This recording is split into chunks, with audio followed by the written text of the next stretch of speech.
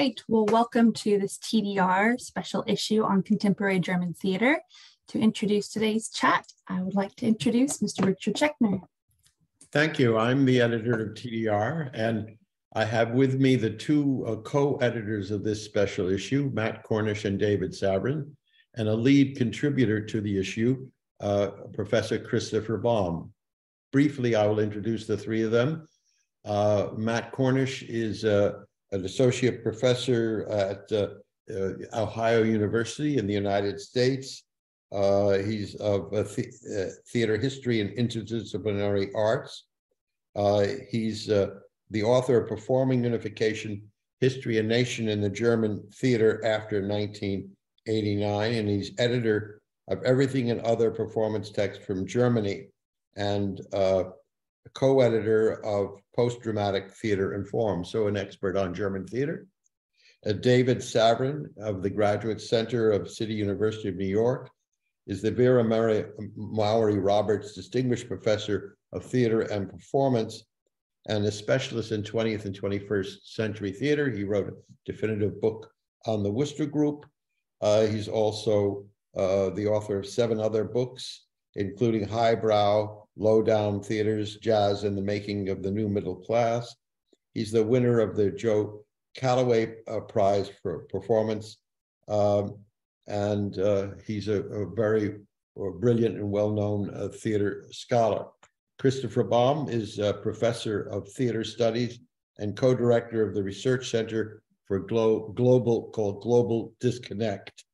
Um, he uh, has written Decolonizing the Stage, Theatrical Syncretism and Post-Colonial Drama, uh, Pacific Performances, Theatricality and Cross-Cultural Encounter in the South Seas, and more recently, um, the Cambridge Introduction to Theater Studies, the, the pub, theatrical public spaces, uh, and the globalization of theater and the theatrical networks of Maurice E. Bandmann. So it's a very distinguished panel, uh, the two editors of the issue and a leading uh, contributor to it. So let me just throw out in, in, in reading the issue some things that struck me and then uh, give it over to you. One of the things that struck me most is that all the although the issue is titled German theater and it is German theater, it's much more than German theater. In other words, German theater also comprises people who are not usually by non-Germans regarded as Germans, uh, immigrants, uh, uh, people from uh, Turkey. There's somebody, there's an Israeli featured in the in the issue, and so on. So I would like you to explain German theater as a cultural rather than national uh, operation, which I think is what you're uh, dealing with. Uh, also, the extraordinary commitment that the German public and the German state has in live performance and in theater in particular. This is astonishing to an Anglophone like myself. Uh, we're scrambling in the United States for a pittance of support from the National Endowment the humanities and New York State Council of the Arts, et cetera, et cetera, while German support by the German uh, national and state uh, bureaus is, is enormous. Even more important, perhaps, is the fact that people go to the theater in Germany as a as a way of engaging in public uh, discourse, uh, and and that is not, you know, that's sometimes what happens in the United States but it's it's much more enga- much more engaged. So I'd like you to discuss this uh, phenomenon, and, specifically, I'd like Christopher, of course, to talk about anything he wants, but the his own essay on post-fictional performance. In other words, the the uh, let's say for a, a non-expert like myself, I think of uh, Brecht, who you talk about as not being as important as he used to be, but he's he, we think of Brecht and uh, epic theater and uh, uh, theater that deals with uh, re, quote real political issues. But when you're talking about post-fictional performance, you're talking about something else again. And so I'd like you to expound on that. So with that kind of uh, broad uh, query set of queries, I'd like to turn it over to you and and listen and learn from you about this very, very marvelous issue. By the way, I, I happen to have it here. I, the cover is very nice. Uh, you know, big fish. Uh, oh, it's going in and out. But at any rate, it's a, it's a very, it's a very strong issue and I'm very pleased to have it. So David, Matt, Christopher, please take over. Thank right. you so much. Thank, thank you so much. Why don't you go first? for, for that for that great introduction. We're I know David and I were just so pleased to be able to work on this issue. Uh, it's been a long time coming um, and has really has, has sparked a great collaboration and a, and a great friendship too, I think. Uh, and I'm so glad that we're we're joined by Chris, uh, whose essay on post-fictional theater, I think, is one of the major co contributions to the to the issue, and also somebody who knows uh, very deeply the German theater and has lived there for a long time. So I, I think that uh, I just was really glad when when Chris agreed to join us. Now, um, I think your your first question, Richard, on the kind of what is German is a really good question and a really a really hard one to answer. You say it's it's almost more of a cultural phenomenon than a national phenomenon, um, and I think that uh, and and uh, you know welcome responses from David and Chris as well. It's almost more an institutional phenomenon. The idea of German theater uh, which David and I talk a lot, a little bit in that introduction, then it is a, a, cultural phenomenon, which is to say it is partly national because of the nation's support, not just the, state, the German nation, but uh, Swiss and Austrian nations. Um, that their support for for the theater is what kind of makes it German in a way. It's uh, the the deep and ongoing support uh, that that is given to the theater there, which does help. There's kind of like a circular process between attendance and the state's contribution that that helps to make it a part of the culture in Germany in a in a way that it isn't in the United States. I always I always talk about the fact that I'll have conversations with people who you would you would imagine as perfectly regular people and they have very deep ideas about specific directors. Uh, I remember a babysitter that I I had when I was in Berlin um, who had no particular connection to the theater, but had a very strong opinion on the director Ulrich, Ulrich Rasche. Um, and that's the kind of thing that you just would never expect in, in the like a sports star. yeah, a very negative. I'll add for Chris and Chris and David want to want to talk about Rasche is not in the issue at all, but has a has a very particular aesthetic, which she very much disliked um, uh, but still went to go see his work. Right? I mean, it's it's right. it's really an an incredible phenomenon. Um, so that that'll start us off, and maybe I'll, I'll invite David to to uh, contribute as well to, to jump and, in. Christopher, yes, David. yeah, and Chris, of course, too. I, yeah. Yeah, well, I I certainly second what Matt said, and I think so much of it has to do with the institutional support, but um, I mean, I think of German theater in part as what is covered by the website Nachtkritik. Um, be, and they, even to say that they cover German language theater, I mean, Germany, Austria, Switzerland, also Luxembourg, since German is an official language of both Luxembourg and Belgium. Yeah, Belgium. So, I was thinking Milo Rau is Swiss. He works in Belgium, but he's in the German aesthetic. Yeah. So um, there's. And, and don't forget uh, South Tyrol. There, I mean, it's also German speaking. Right. so, so there is a great deal of um, crossing of national borders, but for me, so much of this comes down to questions of nationalism and the fact that nationalism is sort of a dirty word in Germany, um, or at least nationalist sentiment is really suspect in a way that it is not, I think, in France, for example. And um, obviously, this has to do with German history. But I, I think that uh, that sort of this uh, different understanding of nationalism and a different notion of national identity is really important to this. Um, and the fact that, yeah, the German language is important, but there's so much German theater that is not in German, but that is proudly German.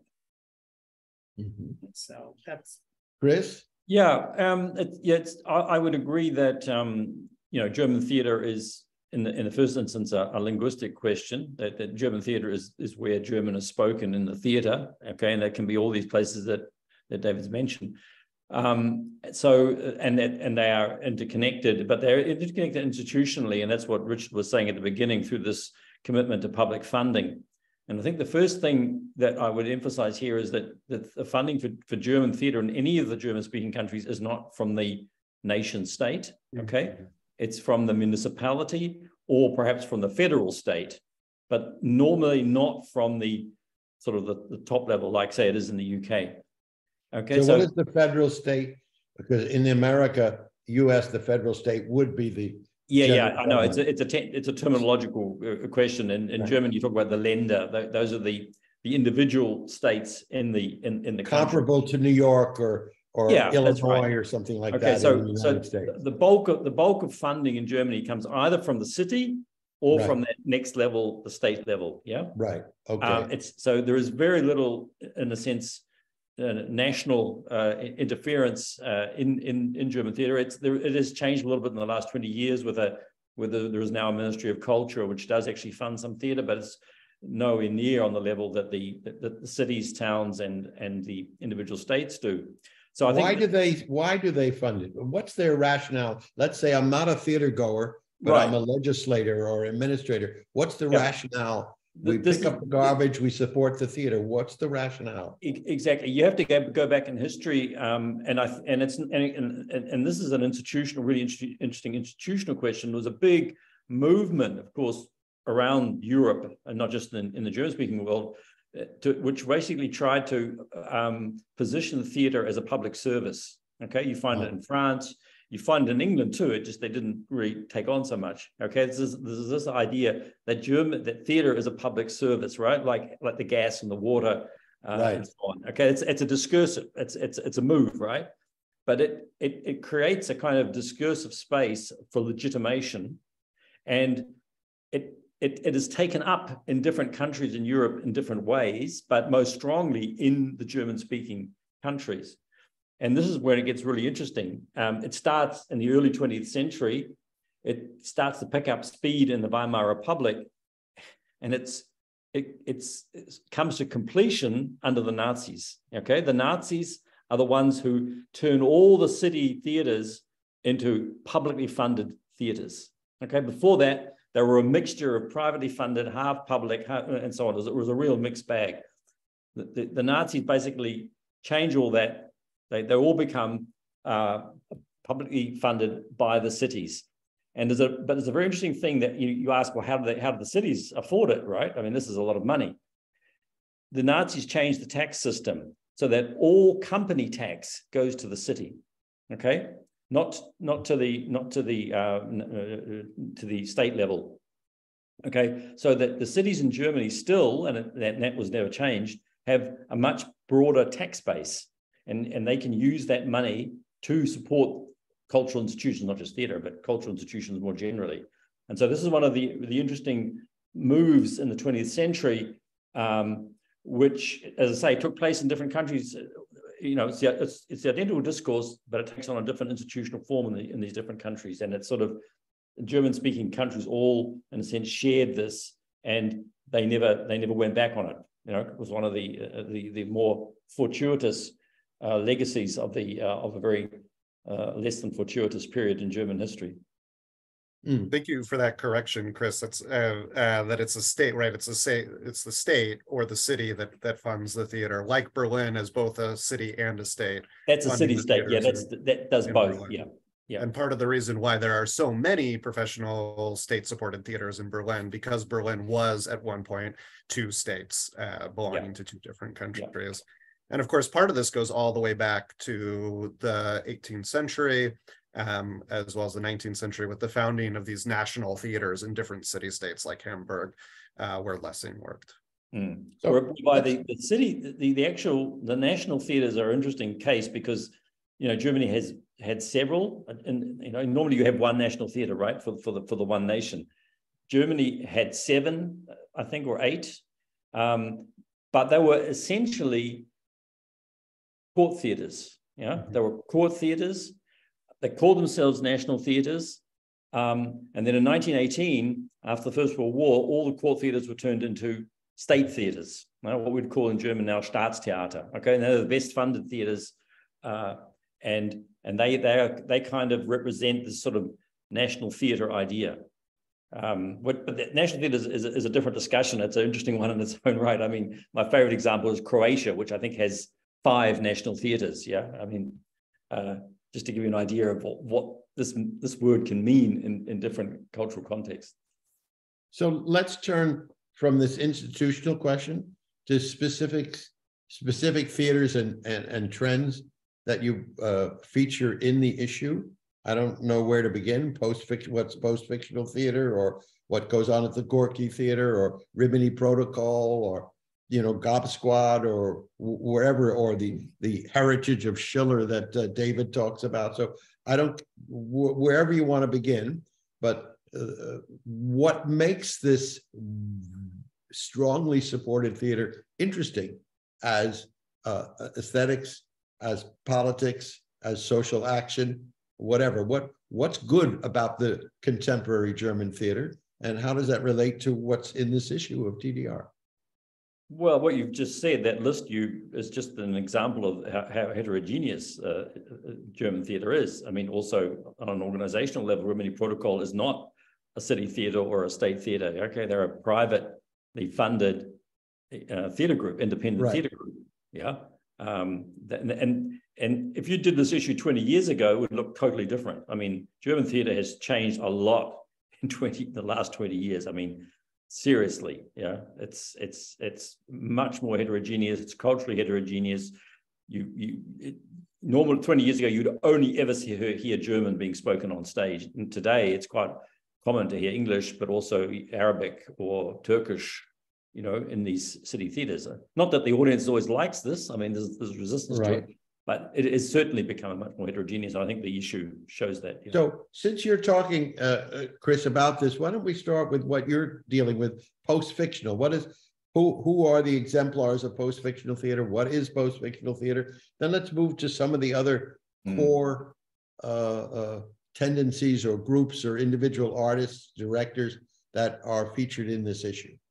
Well, post-fictional theatre, I actually link it to one particular theatre, but it's it goes beyond that. That's just my angle in this article. I link it to the Munich Kammerspiele, where I live. Munich's where I live, and this is what, certainly one of the most innovative. It's been one of the most innovative theatres uh, over the last twenty years, or really quite consistently uh, since the in, in, intendant or artistic director Frank Baumbauer um, but the last year, the two terms um, have seen an, an even an really an attempt to uh, integrate much more independent theatre into the ensemble and repertoire system. Okay, uh, normally state and, and city theatres are basically have a, an ensemble and a repertoire, you know, which they which they play. Um, what happened in the Munich Kammerspiele under Matthias Lilienthal is that he really brought in, in independent theatre groups and artists and one of the things that is characterizes independent theater work is an interest in what I call post-fictional theater, which basically means there's no attempt to, to create a fictional world. Yeah, there's no attempt for the performers to be in, inhabiting uh, roles. Okay, it's it's it's um it's it's in a sense framing theater in a different way. It's saying, well, yeah, we can use theater to tell fictional stories. We've been doing it for the last two and a half thousand years, but you can actually theater is actually a medium. Yeah, we can like TV. You can do you can tell other you can do other things with it.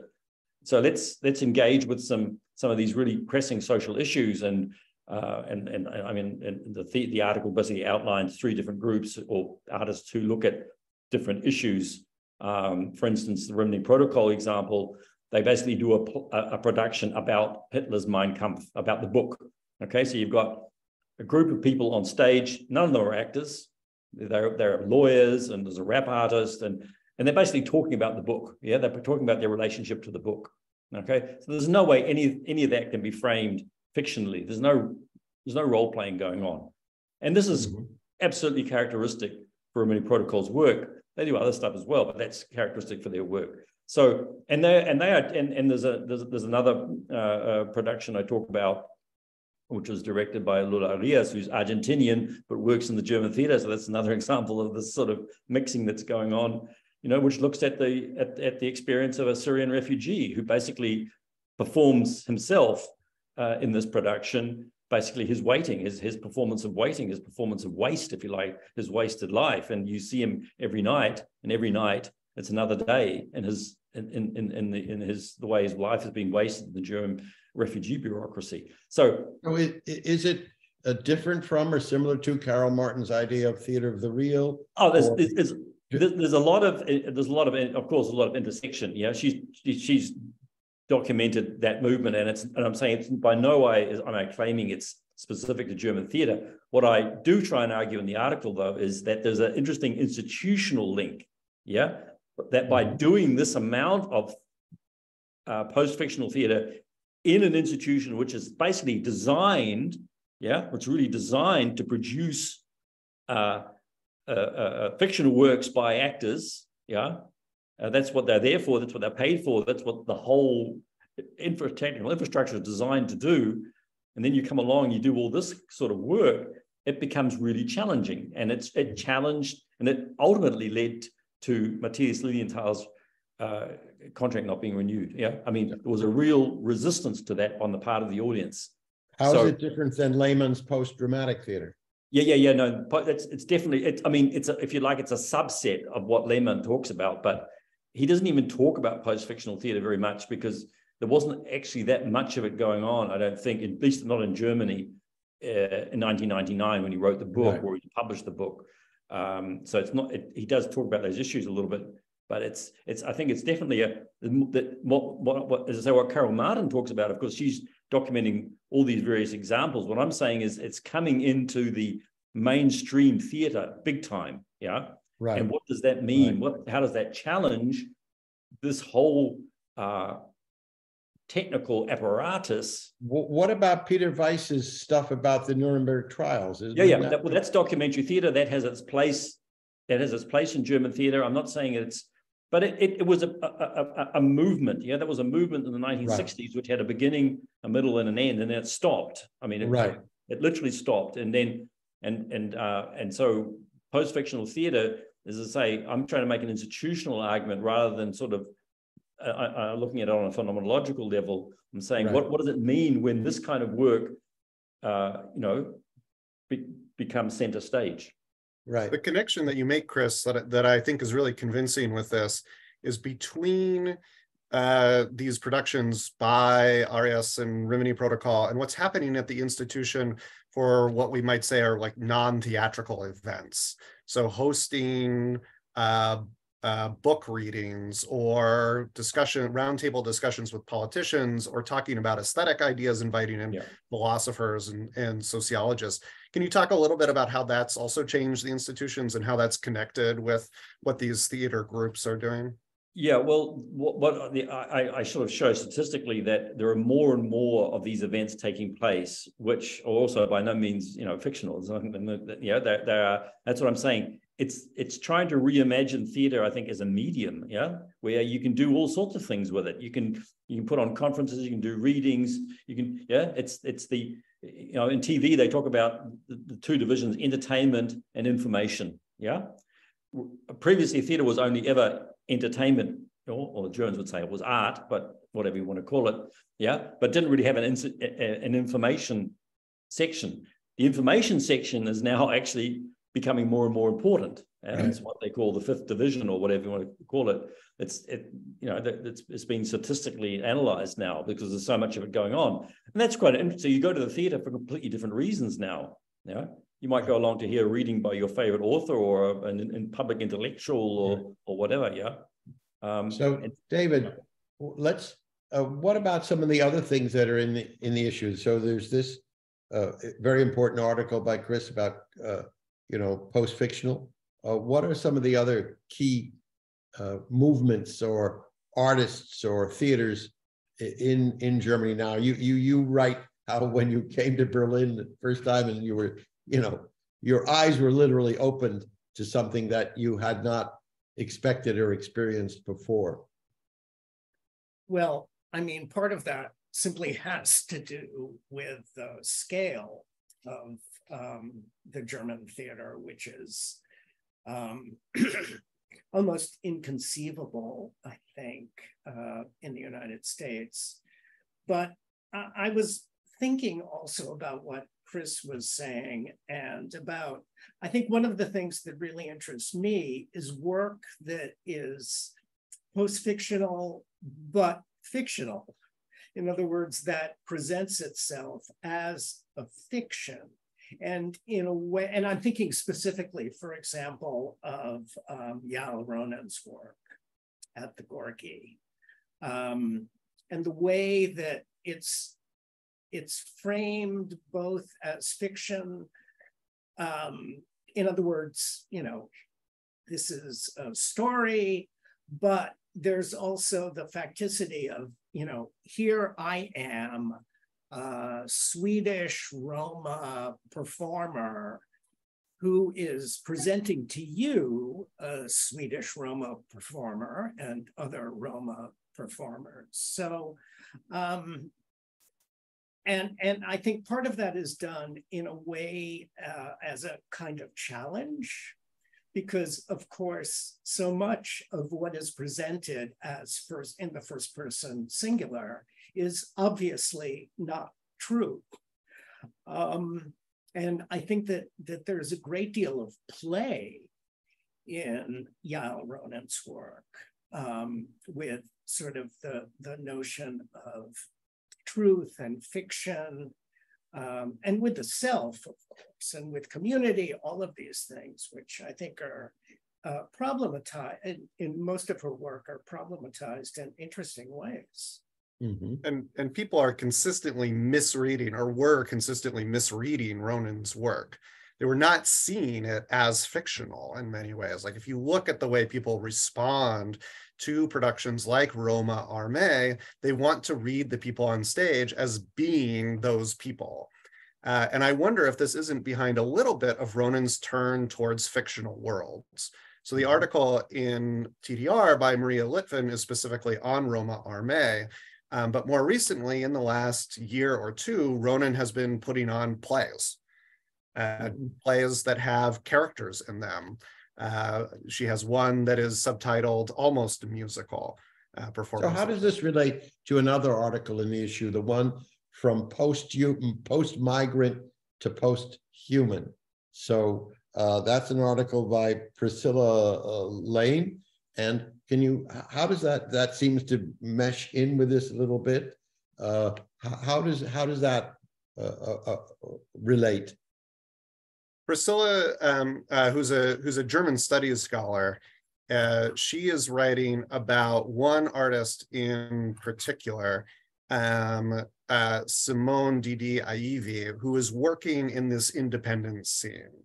Um, and in part, and Simone uh, is a relatively, I would say, like mid-period. She's not right at the beginning, like Gob Squad, um, but she's not really young either. And you'll find her in spaces that are presenting these kinds of, uh, uh, mostly presenting these kinds of post-fictional productions that Chris is talking about. For example, I saw a more recent production uh, by this artist. She's a she's black German, so she was she's black and she was raised in Germany, born and raised in Germany, um, where she cooked food on stage and talked about the recipes and the way the recipes come from a particular her own particular history of being uh, both uh, having an African father and a and a uh, German mother.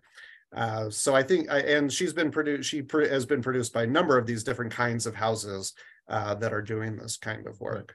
So David, you write about Herbert Fritsch as one of the uh, most notable directors in Germany. So that's uh, at a it's a different kind of genre than the independent theater. So could you talk a little bit about Fritsch and these directors because we we think again in the Anglophone theater uh, theater we think of you know Peter Brook recently passed away classical, but we also uh, uh, Robert Wilson, Richard Foreman, you know the the uh, pantheon of avant-garde uh, directors. I have a feeling that Fritsch and the German directors are a bit different than this Uh, and could could you uh, speak a little bit about about him and about other notable directors? Although, actually, I think that Richard Foreman is perhaps more like many of these directors.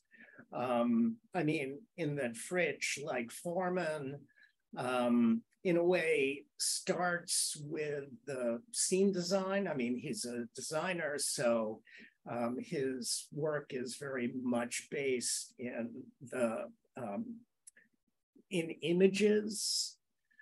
Um, at the same time, he has developed a, a, very particular idiosyncratic kind of farce that comes out of his collaboration with uh, especially a fairly small group of actors. Um, mm-hmm. Another thing about the work of people like Fritsch um, or Ulrich Rasche um, or Thalheimer um, is that it's very, very conceptual. It's so conceptually driven. And for me, that is one of the really interesting things about it, that it makes me really try to figure it out and to try to understand exactly how i mean most so many of these directors use classic plays as the basis of their work. And so it becomes a question of well what does the misanthrope um, what does the misanthrope mean today? What does it mean if we contemporize the misanthrope? Um, which is of course uh, i mean thinking about how Richard Foreman did the same thing with Don Juan in Central Park mm-hmm. uh, a number of decades ago. So I, I think it's this sort of contemporization of the classics that is really important and, and in a very conceptual way. So let me ask you a, a, a different kind of question to any of you. In Anglophone theater, in American theater particularly, LGBTQ plus and identity and diversity, POC, people of color. These are really important matters which are publicly uh, discussed, uh, enacted, etc. There's one essay in the issue about uh, queer uh, opera. Otherwise, it's not a major theme in, in, in this issue. There are obviously lots of uh, things in the issue about diversity, uh, uh, African, Israeli, et cetera, Turkish. So, but what about this, uh, uh, you know, this real concern in an American performance, especially, but also in, in, in, British, which is it similar in Germany? Are these uh, matters important beyond the opera? Or is it a, a question? Uh, are these questions that are brought in? Is there a great deal of gender and uh, orientation and uh, uh, people of color activism in the performances or, or what? Well, there's certainly been a movement in German theatre for the last 10 years to try and include more people of color, I mean, on stage, you know, as actors, you know. I mean, German theatre definitely had a deficit there. There's just absolutely no doubt about it. It was a, a very much a um, a white a white medium, if you want to call it, a lack of a better word. And um, I mean, that, that has to do with demographics, of course, but but but there's also been a lot of agitation going on, and there's also, I think, uh, you know, just there are just more actors now coming through, coming out of the acting schools, and you're seeing them on stage. And um, there's been some quite uh, uh, heated debates on this question. Um, what I'm seeing in Munich at the moment is really a kind of yeah, just more and more diverse acting ensembles, and you know the way they cast them now is is is just you know seems to be fairly arbitrary. I mean, which is good. I mean, they're not they're not casting them for skin color. If you want to, for, for you know, as as has been the case in the opera always. You know, in the opera, it doesn't doesn't matter what you look like as long as you can hit the high C. I mean, audiences. What about LGBTQ plus? Mm, I don't know, guys. Is it? It doesn't seem. Let's uh, let's turn to David here. He's he's yeah. got some very specific well, thoughts on this. Yeah. First of all, I I mean I find First of all, race does not exist as a legal category in Germany. So that when we talk about, I mean, so what exactly then would might Black theater mean in Germany? And what I find interesting and peculiar is the way that so many German artists have taken over the basically the American language of identity politics and sort of tried to overlay it onto the German scene. And there are times when it works fairly neatly, but um, fundamentally, I think that the American situation is so profoundly different that I'm not sure it's it's sort of terribly useful to think in these terms. And I'm thinking specifically sort of race, ethnicity. Um, sexuality, I, I that's a that's another complicated issue. Um, in part because um, there's a long history. I mean, there is plenty of what we might call gay or queer performance in Germany, but it tends to be variety entertainment. It's mm-hmm. not Hochkultur, um, Kleinkunst. And um, even though the German theater, I mean, there's so much nudity and so much sex. I mean, I am often surprised by how straight a lot of work feels to me. Right. Um, because, of course, in the US, I mean, theater has for so long been identified almost, I don't want to say primarily as a queer art form. But no, but it's very, very important uh, in, yes. in the American theater. And that's that's just not really a dimension of most German theater. Um, mm-hmm. I mean, the Gorky has started foregrounding questions of sexuality and, and other theaters, but. Mm. So here's a totally different kind of question. Oh, can I can I just that... add quickly one please, thing? Please, please. Um, one of the things I really want uh, this issue to do, one of the things I'm really hoping this issue does, is show people that the German theater is not straight white men making regie theater anymore. Okay. That, that is that this directors, this idea that the German theater is a director's theater where somebody like Frank Castorf makes these somewhat misogynist, enormous plays. There is a part of that that still exists, but the theater is so much more than that now. And I think that that this issue is really highlighting people and groups who are not straight white men. So, um, for example, for example, in the issue, uh, Simone Dede Ayivi, uh, Yael Ronen, um, the queer theater, the the queer performances at the Komische Oper that right. uh, that Kevin Clark is talking about. They're just it's full of these examples. Right. Um, uh, I think that's very not, important for uh, our listeners or viewers to yeah. look at and know. Thank you.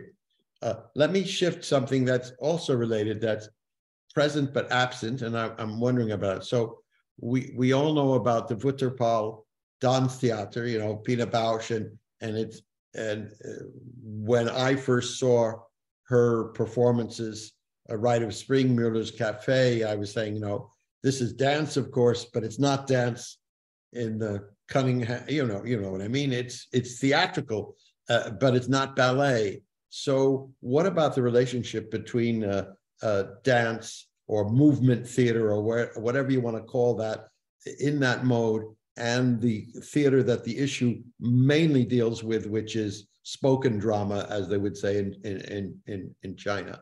But there is this other tradition in Germany as well of the of the Tanztheater, not ballet, not modern dance, but this other thing. What, what about that? Oh, you I'll just say really quickly, you're absolutely right, Richard. This is this is a kind of hole in the issue. And had we had the issue been started, had we started working on it, say last year instead of when we did, which was a couple of years before that, there would absolutely be an article on Florentina Holzinger. I think that. Well, let, um, let's do one and put it in a future issue. Yes, absolutely. so um, tell us about her and it. Chris, I saw you nodding. Do you want to talk about a little bit about Florentina's yeah, work? I, I mean, I know I would say more generally. I mean, a Tanztheater or that dance theater or whatever you want to call it. I mean, it's, it's such an autonomous form now. I mean, yes. their own festivals Um, they have their own performance spaces, and uh, you know, it's highly self-referential. So you'd almost have to do a, a special issue on it. Um, and I think they also have different audiences. yeah, I, I, would argue they have different audiences too. Um, right. and and so that's why it probably doesn't surprise me that it doesn't feature so much um, in in in the issue. But someone like Holzinger, she she's a she kind of crosses that line, you know, that she she she does perform in the in the in the Stadttheater and so on. Um, but that may also do with the fact that uh, some of her choreographies, the people are not wearing anything. So that obviously doesn't tend to appeal to a wider audience, I think. Um, although nudity is not a big thing on German theatre, although in her case it's, it's fairly um, fairly obvious, shall we say? Or, yeah, nudity is a very obvious costume. Moment, but but it's uh, I'm trying to think of the English word.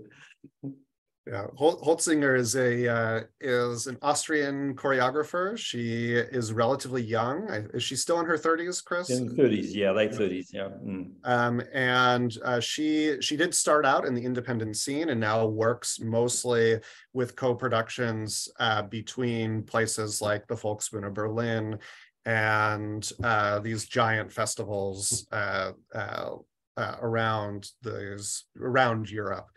Uh, and as as Chris mentioned, uh, her performers, who are entirely women or femme identifying, are naked from the beginning to the end.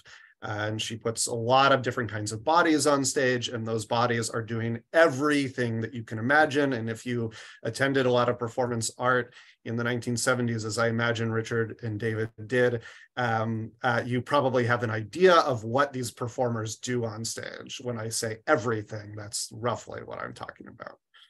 Right. So it would be good to have an article in TDR about the, or a cluster of articles about this uh, uh Theater, because beyond Pina Bausch, people in the English speaking world really don't know that much about it. I, I you know, and and we should.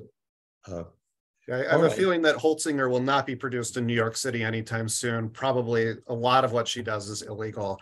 No, uh, well, I, I heard that Santos is inviting her to do it in Tallahassee. Once. Perfect. Yeah. So is there anything else? We're nearing the end of the hour. We're at 1255. is there anything that uh, we would we would like to do? Chris, please. I just, I just want to put in a plug here. Um, we've talked a little bit about the German Directors Theatre, who are the poster boys, and they usually are boys, sometimes now girls, of German theatre. But don't forget the dramaturgs. Yeah, it's actually the uh, dramaturgs. Let's talk about that. Dramaturgy is one of those words. When I first heard it, you know, it was one of those uh, Germanic words that kind of came down like a, a dramaturg. It's something that you want to take a pill for, uh, but it's extremely important. Can you explain? not Lessing, not the history of dramaturgy. No, no. Its importance in German performance right. now. On the on the one hand, they of course have a lot of input in, in what you've called the conceptual side of German theatre. Yeah, they they you know they, they work often very closely with specific directors. That's on the one hand. On the other hand, they are essentially who keep the repertoire and ensemble system going because the repertoire and ensemble system are very complex. Yeah, that's like they're really complex uh, um, apparatus, sort of complex apparatus.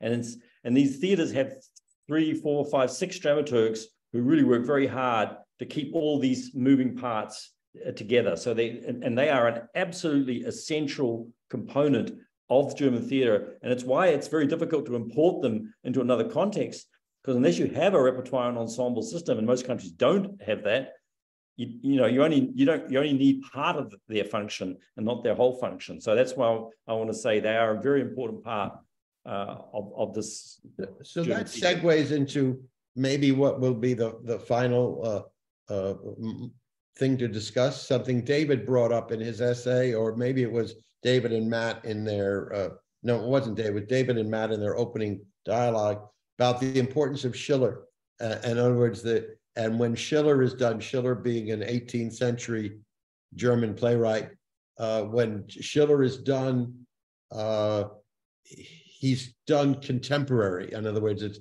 it's not Schiller in a 18th century box, but how does Schiller relate to what's going on now? I assume it would be the same with Goethe or or any of the uh, uh you know older uh, Woyzeck, you know, the uh, older writers. So could you talk about the repertory and the historical depth of the German literary tradition as it pertains to dramaturgy, liturgy and uh, directing and, and the German theater scene?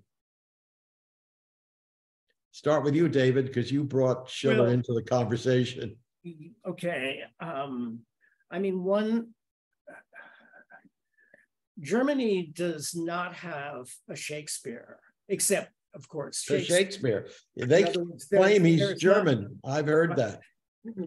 but um, and of course, Schiller, Goethe, Büchner are so centrally important to German culture. Um, and I think that there is a sense that this is work because it is important, because this is work that people read in school, that it's something that needs to be constantly reinvented and rethought. Um, I mean, I, I keep going back to the piece Verrücktes Blut, um, which, and there's a wonderful video of that, um, which was from 2010, 2011. Um, and that was one of the first works to put what was called post-migrant theater on the map, uh, in which uh, in which a woman teacher is in, in a high school, is teaching a group of young, mainly sort of Turkish Germans, and trying to teach them Schiller. And uh, there are various objections to this, and they're not an easy group. Um, and a gun falls out of one of the backpacks and she ends up teaching Schiller at gunpoint. Oh. Um, and and that so clearly the sort of the connection that that makes between the concerns of Schiller in particular and sort of the, the mission of Schiller and his notion of an educational theater and um, and and a kind of uplifting theater as well. Right. You know, I, if you're I, if you're interested in this play, Priscilla Layne, who's a contributor to the issue, did a translation of it that's available online in the Mercurian Journal, online journal of of play translation. Is Wedekind done often? Mm, well, yeah. Spring not, Awakening or spring, yeah, not not a lot. I wouldn't say he's he's right. He's mainstream. He, you know, he, every now and then they do Spring Awakening. Um, and Büchner? Yeah, yeah, Büchner definitely. Yeah, yeah. He's and he's, Kleist as well. And Kleist. Büchner and Kleist are all the mainstay. You know, Schiller are the mainstays of the of the classical canon. Absolutely. Right. Right. Yeah. Right. Um, I think, so, but in terms of the performance statistics, it's always Shakespeare is, is number one. Yeah. Yes. Well, when I was in Germany, uh, I was told on more than one occasion that Shakespeare is actually German, mm-hmm. and it was it mm. was with tongue in cheek, but not entirely. Not entirely, no. There's a there's a discursive history of that. that The implication was that the Germans understand Shakespeare as the British and the Americans never will. Uh, I, I do think that Richard II is better in German than than in the original English. I, will I'll make an argument for that. Well, I like my namesake. Second, I even like third. But is there anything else that any of you would like to uh, say uh, before we turn this back to Casey? actually, if um, let me sort of like Chris, as Chris put in a plug for the dramaturg, let me put in a plug for musicians and composers. Uh, David Roesner has a wonderful, important piece in the in the issue that talks about the central position of music in so much what's called spoken theater, and the fact that in so much of this the composer and musicians are in the room from the beginning of rehearsals. Oh, that's very important. The there is the budget for that kind of thing. Yes. That would be unheard of in the United States, right? Unheard of. Exactly. Exactly. And and I think that this too really changes the character of the work. Mm. And then so the, final, the final thing, oh, oh, go ahead, Richard. Please.